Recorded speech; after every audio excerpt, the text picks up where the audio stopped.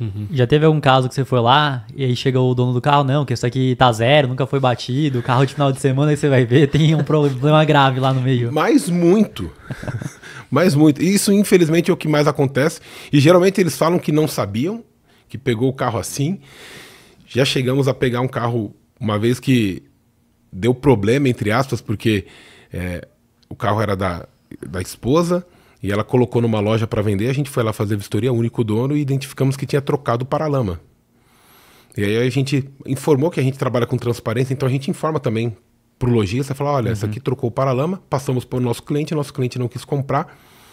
E aí o vendedor passou para a proprietária do carro que tinha deixado o veículo lá em consignação. Falou, olha, o carro aqui trocou o paralama. Ela, pelo amor de Deus, não fala pro meu marido.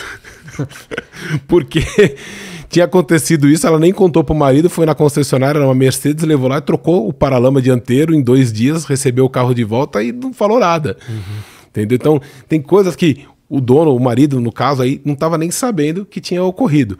Né? Mas as pessoas, às vezes, eu, eu sinto mais, é, lojista, quem trabalha com carros tem fama de ser picareta, né? De dar golpe nas pessoas. E às vezes eu acho que também é falta de informação. A gente atende também vistorias para lojistas. Né? Então, muitas vezes, pelo fato dele trabalhar com carros, ter muito ano, anos e experiência no mercado, ele acha que ele já sabe tudo, já viu de tudo.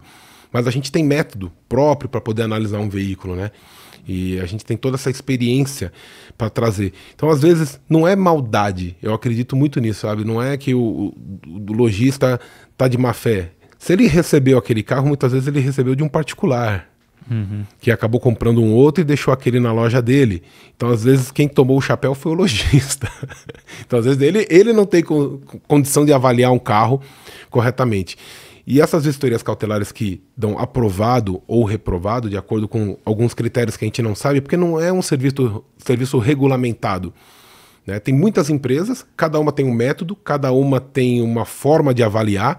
Cada uma tem um critério para falar o que é aprovado, o que não é aprovado, o que é um carro reprovado.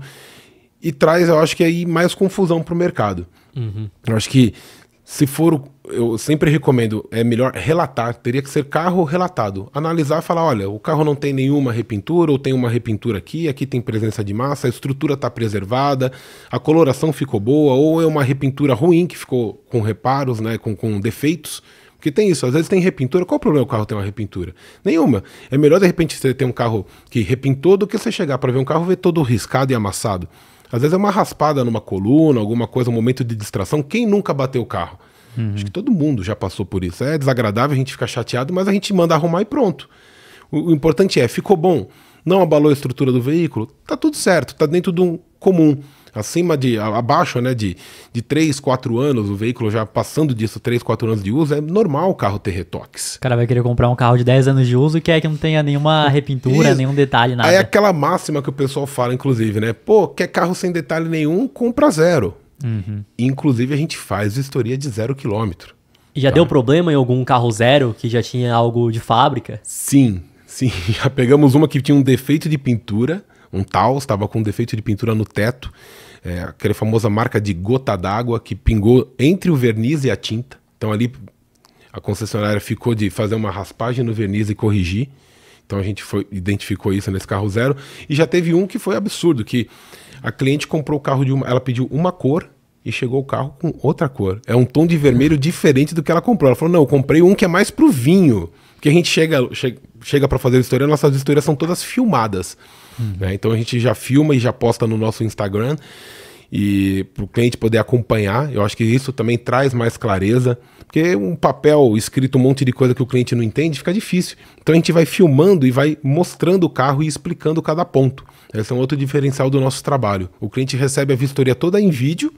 Né, e também a gente dá um feedback geral depois, com um resumo dos principais apontamentos. Mas nesse caso a cliente até assustou, falou: não, não é essa cor que eu comprei. Pior que eu tava lembrando aqui quando eu comprei uma Macan, no vidro do lado ali tava arriscado, eu não tinha visto. Quem viu foi o cara que tava gravando o vídeo pra gente, lembra ainda? Uhum. Aí tiveram que trocar depois, então de carro zero deve, deve ter mesmo que acontece. E Tem. aí conseguiu trocar por conta do, do vídeo é, ainda. ainda tava lá e ele falou: ah, a gente vai trocar aqui, aí chegou a peça, trocou, mas o tanto de carro que deve acontecer, às vezes a pessoa não viu também. Não, e outra é mais comum do que a gente pensa, porque assim, é, a montadora disponibiliza o veículo, a concessionária que é outra empresa que tem uma concessão para comercializar o veículo daquela montadora e responsável também por dar assistência técnica, é, ela vai lá e manda a cegonha buscar. O, o carro saiu do pátio da montadora e entrou na cegonha, qualquer coisa que acontecer ali é responsabilidade da concessionária. Uhum. Então, às vezes, no transporte, pode acontecer de tudo chuva de granizo, o caminhão sofreu um acidente na hora de descer o carro raspar, ou no tempo que depois ele desce e fica no pátio esperando comprar. Pode acontecer. Muito comum qualquer coisa acontecendo com o carro. E aí vai fazer o quê? Ela vai jogar o carro fora? Não. Ela vai fazer o quê? Vai consertar, manda pintar, reforma, né, corrige aquele risco que o que ocorreu e põe para vender. Eu só acho que um pro, o problema é a pessoa comprar sem saber. Porque quem compra um zero compra nessa ideia. Estou comprando um carro zero, um carro imaculado. Eu não quero um carro zero repintado. E é direito do consumidor. Uhum. Porque na maioria das vezes você entra, não é que você compra o carro zero e já sai com ele. Você compra, paga uma parte hoje, né? E depois você recebe um, uns dias para vir retirar o carro, porque precisa correr documentação, emitir nota fiscal, tem a questão do emplacamento. Eu sempre alerto os clientes quando procuram para vistoria de zero quilômetro, pedir para a gente fazer a vistoria antes de emplacar, porque facilita, porque depois que emplacou, já registra o nome da pessoa, fica difícil você trocar. Uhum. Até então você tem uma nota fiscal, numeração de chassis. Você ainda não registrou o veículo no nome daquela pessoa. Então, naquele momento, enquanto eu entendo que enquanto não ocorrer a entrega do bem e principalmente de, antes de emplacar, você tem direito de recusar. Se o carro não está no padrão que você quer. Eu falei, não, eu estou comprando um zero, eu não quero um carro zero que já sai com uma repintura em porta. Porque desvaloriza o veículo. Isso não é uma frescura. Hum, o cara está comprando zero, na hora de revender, ele nem causou Isso. nenhum dano ao veículo e aí vão reclamar depois que teve repintura. Né? Esse ano eu viajei nada, graças a Deus, mas ano passado que a gente não tinha ainda implementado as vistorias no Brasil todo, eu viajei muito fazendo vistorias. Eu fui em Teresina, um lugar que eu nunca imaginei conhecer, para fazer vistoria de pré-entrega de um carro zero. Uma Volvo XC90, carro de mais de 400 mil reais. Por quê? Porque esse cliente só compra carro zero, ele fica um ano com o carro e vende, e o último carro ele garante que nunca bateu o carro, Ninguém põe a mão no carro dele e quando ele foi vender, ele descobriu que a lateral inteira tinha sido pintada. Uhum. Então já saiu da concessionária, se não foi ele, né? Não foi ele, ele tomou um prejuízo grande nessa venda. Aí ele falou: Marcelo, compreendo se eu te pagar a passagem, é, hotel, a, a diária do meu serviço, para ele receber esse carro zero, do que amanhã ou depois ele tomar um prejuízo que varia. Um carro com um ano de uso com uma lateral inteira arrepentada, de 10 a 15% é o mercado. Não adianta você bater o pé e falar, ah, mas isso não quer dizer nada, o carro tá bom. O mercado tem é o quanto o, o, comprador está disposto a pagar, né? Se tem gente disposta a pagar a mesma coisa pelo carro que está totalmente repintado, muito difícil, né? Exatamente, a mesma coisa quilometragem de veículo. Não adianta brigar. O mercado é regido pelo modelo de ano de, de, de, do veículo, né? Ou seja, o carro quanto mais novo ele tem um valor melhor, e também quilometragem. Porque todo mundo parte de um senso comum de o carro, que o carro que tem menos quilometragem, andou menos, foi menos utilizado, está numa condição melhor. Só que para os carros, isso não é uma máxima 100%. Pode ser. É que um carro que roda, por exemplo, na cidade de São Paulo, a gente estava comentando, pô, levei uma hora e meia para chegar aqui. Acho que é uma distância de 30 quilômetros de casa. É pouco para você levar uma hora e meia. Uma hora e meia na estrada eu ando quase 120 quilômetros, quatro vezes mais do que eu andei para chegar até aqui. Uhum. E o desgaste do carro rodando na estrada é um desgaste de mecânico completo muito menor do que o carro andando na cidade. Fora o tempo de uso, ah, o tempo de uso de 1000 km na estrada é um, o tempo de uso de 1000 km na cidade no trânsito é outro tempo. Né? Exatamente, né? porque nesses 30 quilômetros que eu levei em uma hora e meia para vir até aqui, primeira, segunda, terceira, para, freia, suspensão, freio, pneu, tudo no carro desgasta muito mais. Na estrada, você coloca praticamente velocidade de cruzeiro, mantém a aceleração, giro do motor fica estável, a marcha oscila de uma para outra no máximo, né? uhum. né? As, as marchas finais de quinta para sexta ou sexta, quinta para quarta. Você praticamente não usa freio, você usa mais freio motor, você tira o pé. A suspensão do carro desgasta menos, o pneu desgasta menos. Muitas vezes nem curva faz ainda, só reto. Exatamente. Uhum. E, e, o carro fica com muito mais quilometragem, mas ele está numa condição mecânica muito melhor. E você passa, inclusive, às vezes, muito, muito menos tempo também dentro do carro. O desgaste de um carro que roda no trânsito da, da cidade, né? Volante, banco, é muito maior do que um carro que roda mais na, na estrada. Mas adianta trazer toda essa informação e esses argumentos para o mercado? O mercado tem vida própria. Uhum. Para a imensa maioria das pessoas, é a quilometragem. O cara vai olhar, sei lá, um cara só dirige praticamente na estrada, aí o carro tá com 120 mil km, o outro tá com 60, só que só rodou na cidade. O de 120 vai ser mais barato, não tem o que discutir, e às vezes ele tem um desgaste menor do que o de 60 ainda. Na maioria das vezes ele tá muito melhor. Na maioria das vezes está muito melhor. Uhum. E, e, e, o ponto também, além da, da quilometragem, que eu acho que é um ponto que eu acho que as pessoas então deveriam se atentar. Tudo bem, não quer abrir mão do negócio da quilometragem, porque a gente tem esse fetiche e tal, tudo certo. Mas busquem histórico de manutenção, pelo menos. Né? Porque a gente sabe que ninguém faz a manutenção preventiva correta nos veículos.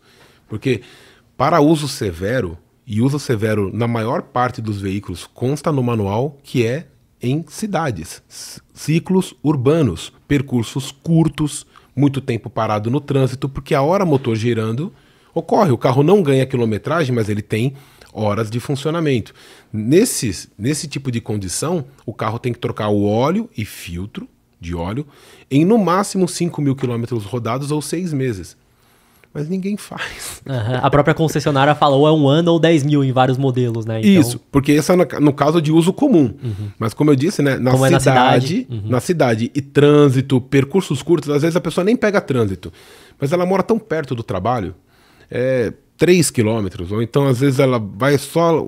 aquele carro que a esposa pega para levar o filho para a escola e volta para casa. Às vezes 3, 4, 5 quilômetros, é muito curto.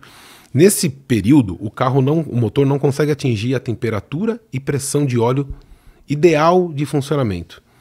Tá? É a uhum. pressão, pressão e temperatura ideal. Não é que o carro não possa é, rodar nessa condição. O problema é que o carro não pode só rodar nessa condição sem você fazer a manutenção correta. Uhum. Você até pode só rodar com o carro nessa condição, em que o óleo não atinge a temperatura e a pressão ideal. Você cria um desgaste metálico maior, você aumenta o risco de um desgaste maior no motor. Então você tem que, nesse tipo de situação, trocar o óleo e o filtro na metade do tempo. Só que as pessoas também não fazem. E essa é uma dificuldade da gente, como vistoriador de carros, tentar identificar quando a gente vai fazer a vistoria, como é que faz para saber isso. Né? Uhum. Será que esse carro rodou na estrada? Será que ele rodou na cidade? E aí eu caio naquela que, na minha opinião, o mais importante é ano, porque o carro, quanto mais novo, mais assertivo eu consigo ser nessa análise. Um carro que tem 4 anos e 40 mil quilômetros, eu sei exatamente o que esperar quando eu estou indo avaliar ele.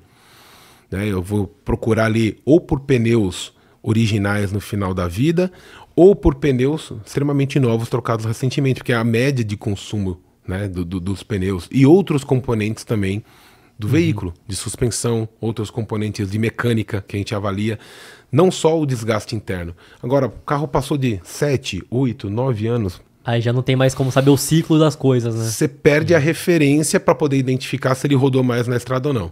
O Jim Max é a assinatura premium nosso aplicativo Dinai, onde você consegue receber relatórios toda semana falando sobre as empresas, fundos imobiliários. E agora, novidade, estamos com vídeos também falando sobre o mercado financeiro para você conseguir investir melhor através do Jim Max. Fora isso, temos também cotação, preço teto das ações, fundos imobiliários, para você conseguir pagar mais barato. E tudo isso por um preço absurdamente baixo. R$10,80 por mês no plano anual. Vai subir em breve então assine aí o Max para acompanhar tudo isso.